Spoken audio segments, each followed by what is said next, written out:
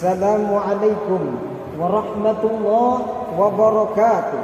Sekali lagi salamnya biar seia, biar sekata, biar cetar membahana ke angkasa, masuk ke lurung sukma, nyut-nyutan di dalam dada.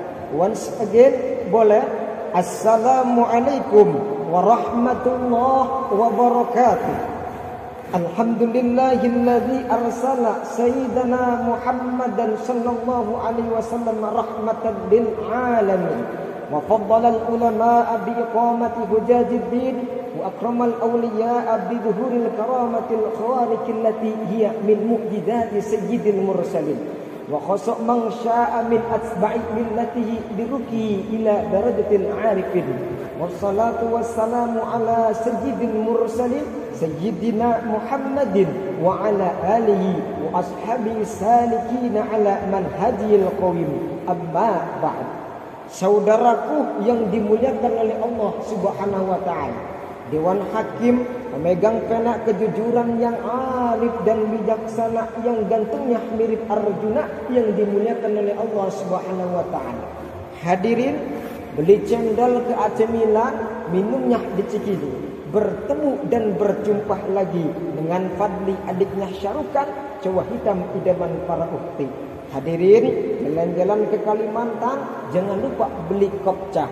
Mohon izinkan adiknya Syarukan mau bertausiah yang berjudul para wali Allah Subhanahu wa taala. Saudara, Allah Subhanahu wa taala berfirman ke dalam Al-Qur'an surah Yunus ayat 4 yang berbunyi Bismillahirrahmanirrahim. Ana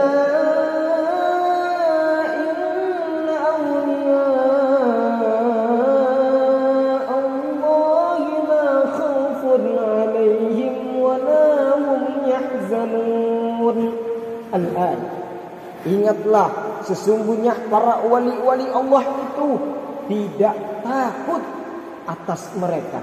Walahum yahzanun dan mereka pula tidak sedih hatinya.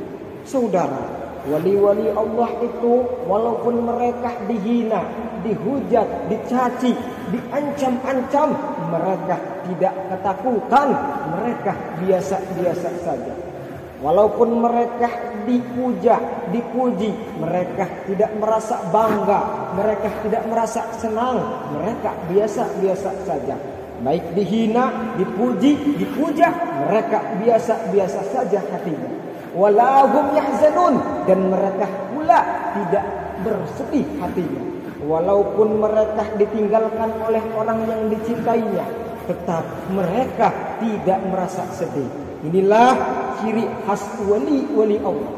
Kalau ada yang ngaku wali tapi masih mikirin besok mau makan apa, anaknya bagaimana, khawatir ini itu masih takut dengan duniawi. Lah ini wali dari mana? Wali murid atau wali nikah? Jelas wali-wali Allah mah dalam Al-Quran dalilnya Ala ibna awliya Allahi la khawfun alaihim wa lahum yahzanun Saudaraku yang dimuliakan oleh Allah. Wa'lam rahimakallahu ta'ala anna awliya Allahi lahum maqamatun mukhtalifatun wa darajatun mutanawi'atun wa shifatun mahsusatun wa a'malu ma'rufatun indal arifin idla ya'riful wali ilal wali walikullin minhum sirrun min asrarillahi azza wa jalla.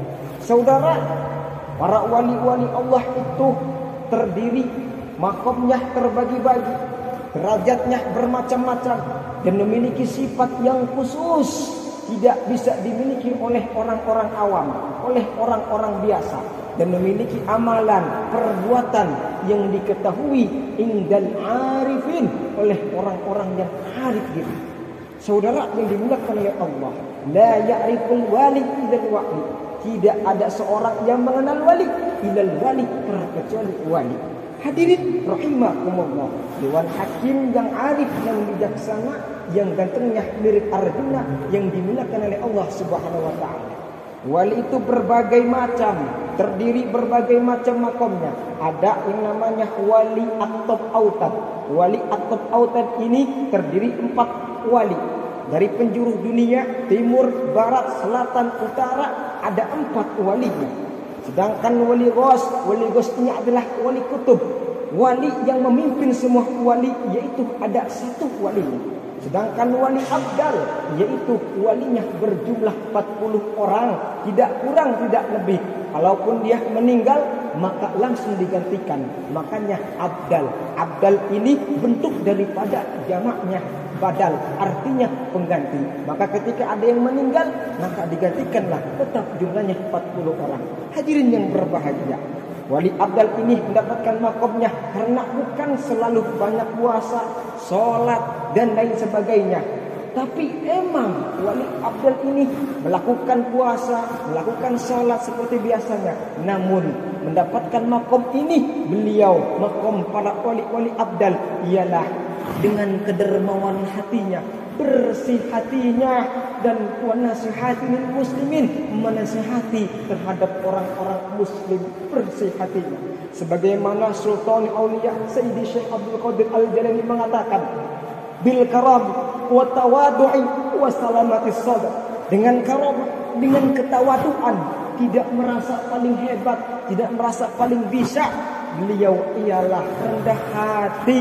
Yaitu beliau merasa dirinya tidak mampu, tidak bisa apa-apa. Karena artinya bersih melakukan segala hal yaitu karena Allah Subhanahu wa taala mudah-mudahan kita semua terbuka hatinya dengan karomah asror yang ada pada wali-wali Allah kita terbuka hatinya bersih hatinya sehingga melakukan segala hal hanya karena Allah Allah Allah Allah Allah Allah Allah, Allah, Allah, Allah La ilaha illallah Cukup bagiku Allah Di hati hanya Allah Salawat Rasulullah Syekh Abdul Qadir Waliullah Mudah-mudahan kita mendapat karamah daripada Tuhan Syekh Abdul Qadir Al-Jailani.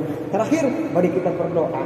Allahumma anzil rahmata ala Syekh Abdul Qadir Al-Jailani wa li walidayhi wa li masyayikhihi wa ridwan wa amidana bi asrari fi kulli waqtin wa awan.